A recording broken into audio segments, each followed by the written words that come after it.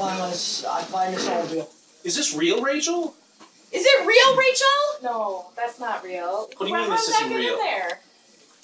Where I did you get this that in there. from? It's We right better back read there. it, So don't I we? with Kyle just gave it to me. family. Who What? did it? Who gave this? Kyle just gave it to me. Huh? Kyle did.